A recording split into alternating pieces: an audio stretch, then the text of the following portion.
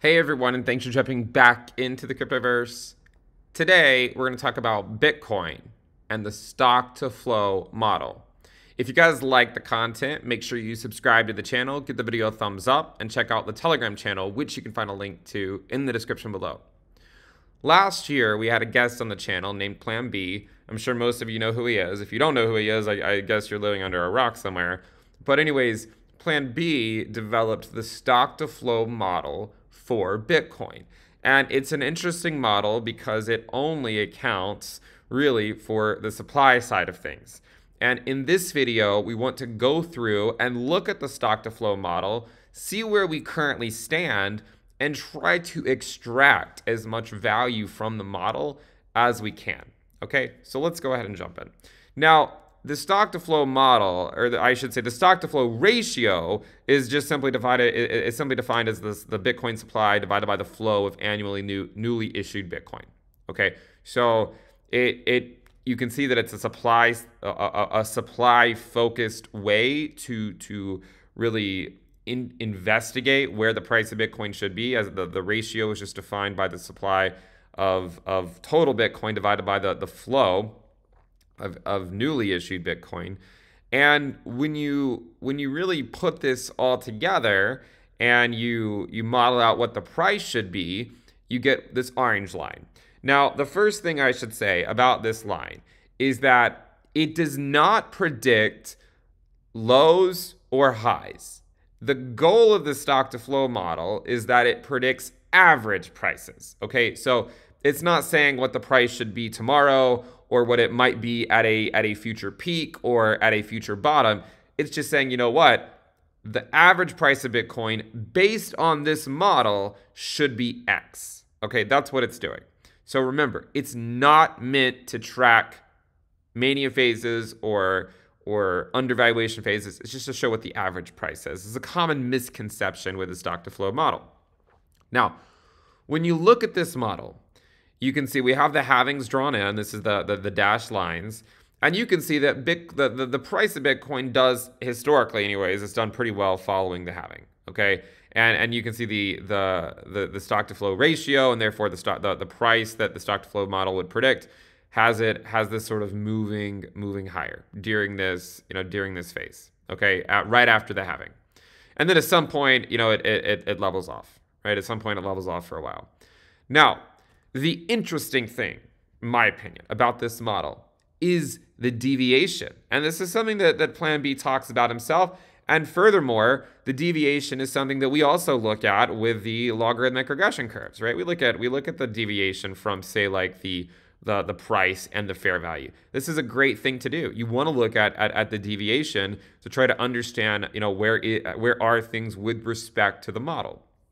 Now look at this when you look closely, you'll see that an, early on, the price during the mania phase far exceeded what the stock to flow model would, would have predicted, far exceeded it. Later on, we, we started to flirt with that, with that value even more. We actually went under it for a little bit. During the third, after the third cycle or after the second halving, you can see that the stock to flow model did a really good job of showing where the price of Bitcoin should be. And the argument, okay, is is there a trend in the deviation of the price with respect to the stock to flow model? I mean, look, we, we can see that at least so far, the stock to flow model um, has been a little too optimistic. But I mean, given given that the, price of Bitcoin was, you know, at, at a few thousand dollars not that long ago, and to see how well the, the price actually tracked the stock to flow model right after the halving, I mean, this it, it still is a, a useful model in my opinion. One of the things I, I you know just to, to go off on a little rant here, and this is something I find with my models too. You know, all models are wrong. All of them. Every single model we talk about on this channel, all of them are wrong. Some of them are useful. And I want to show how you can take a model and try to extract the value from it, right? Extract the value, look for trends, mine the data. Don't just look at something and say, well, you know, it's not on the it's not on the squiggly line, therefore there's no value.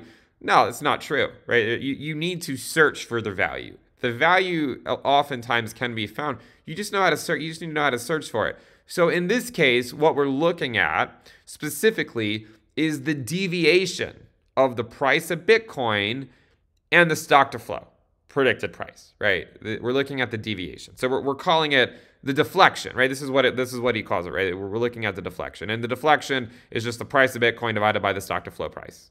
Okay, it is a measure of how far the stock to flow ratio deviates from where where the actual price is. So if we click on that, this is what you get.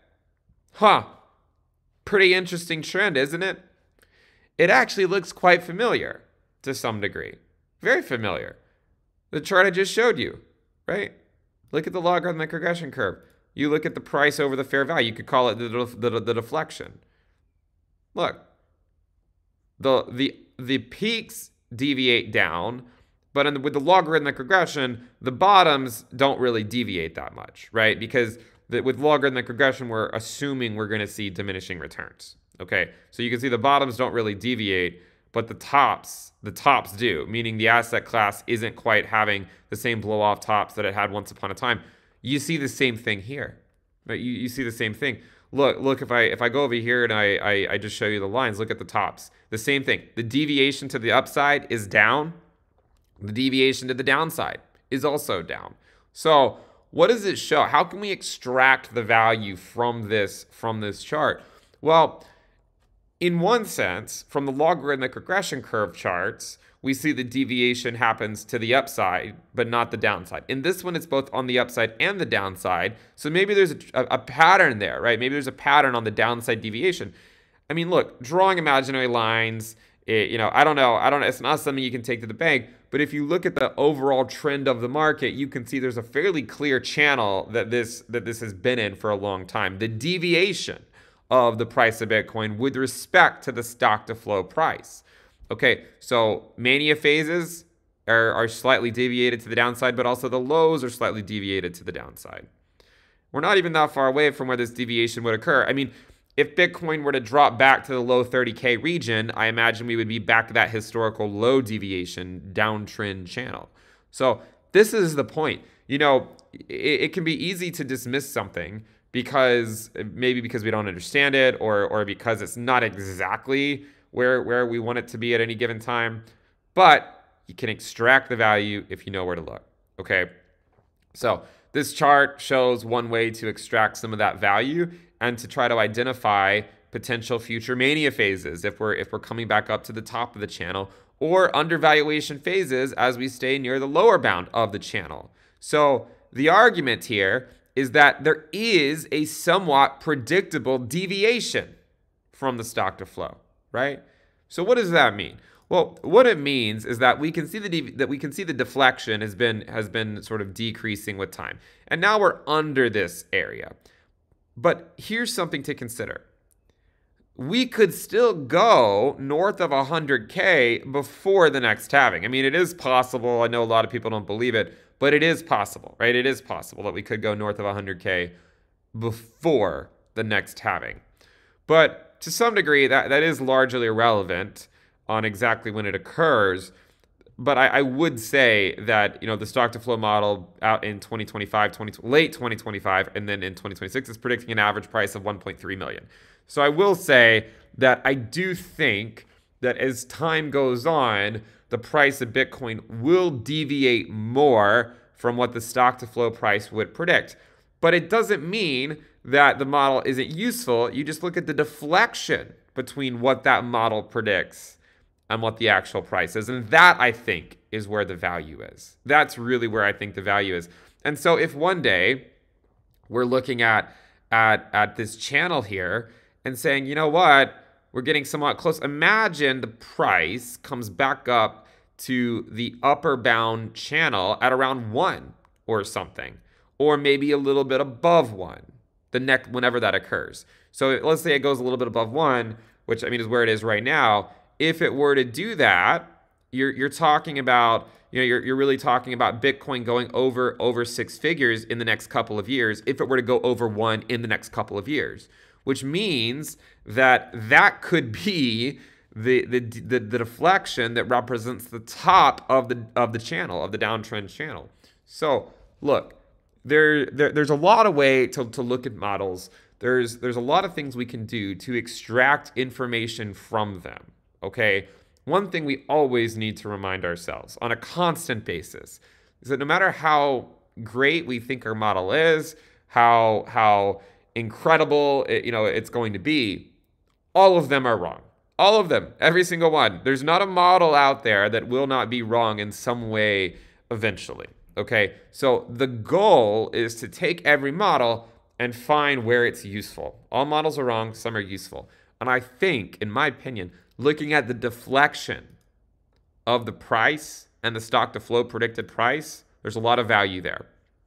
I, I do think an average price of 1.3 million, um, you know, after the next halving, is probably a little too optimistic. And I think that clearly because the deflection is going down, doesn't mean we can't go to a few hundred K, right? I mean, it doesn't mean we can't go to, you know, 300, 400K by 2026. But are we going to go to 1.3, 1.4 million? Probably not, unfortunately, right? Is it something that I would like to see? Of course. Who doesn't want to see Bitcoin go to $1 million in three years, right? Who, or four years? Who doesn't want to see that? Everyone probably want to see that. Is it likely to happen? Well, if it would, if it does happen, it's completely changing the, the trend that we have on the deflection, which is something that, that Plan B, I believe, has shown himself. If you guys like the content, make sure you subscribe to the channel, give the video a thumbs up. We have the sale on the premium list at intothecryptoverse.com. That's going to end in four days. Thank you for tuning in. I'll see you next time. Bye.